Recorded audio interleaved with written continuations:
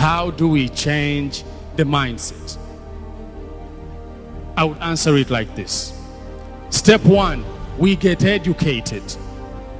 Education is an enlightening process of receiving and providing knowledge through systematic instructions. Step two, we leave room for more learning. Learning refers to an intellectual process of acquiring new skills and knowledge through experiences. Sometimes those experiences might be a result of the decisions you made to become rich or the decisions you made to become poor. At the end of it all, you learn from them.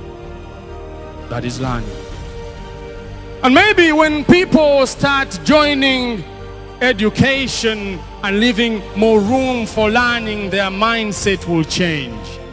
Mindset is a set of beliefs that helps you make a sense of the world and yourself. You see, when your mindset changes, you will get the wisdom to approach things differently. And that will most likely give you the chance to get positive results. When your mindset changes, you will realize that you cannot dream of becoming something that you know nothing about. You will realize that you cannot dream or get the will to make an impact in Africa when you know nothing about its history, its beauty, or even its challenges. Which means, ladies and gentlemen, if you want to produce morally upright, instigated children in the future, change your mindset.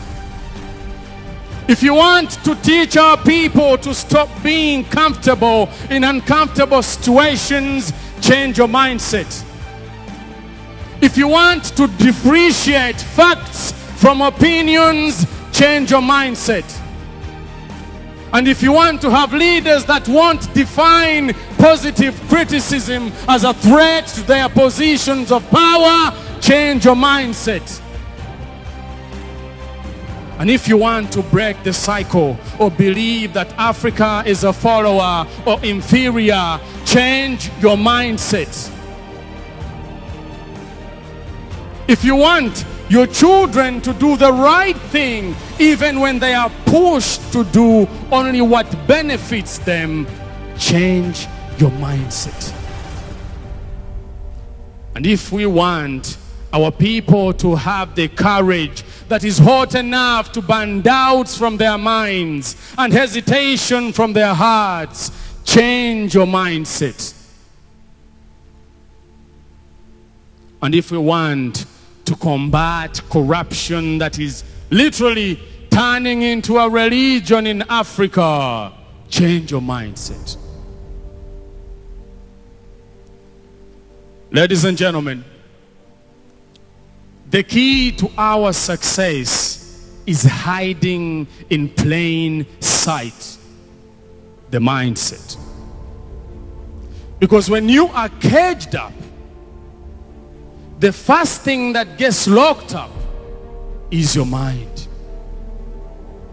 I beg you today to not limit your aspirations for greatness and tap the untapped potential of Africa and Africans. Ladies and gentlemen, I always use this statement every time I am ending my speeches. What makes a legend? Is it what you do when you're still alive? Or how people remember you when you're dead? Those two statements mean the same. The things you do when you are still alive are the things people will always use to remember you when you're dead. With those few remarks, I would like to remind you that my name is Fahad Mionso. And my mission is to leave behind a life-inspiring legacy where hope is for all and not for some. السلام عليكم ورحمة الله وبركاته.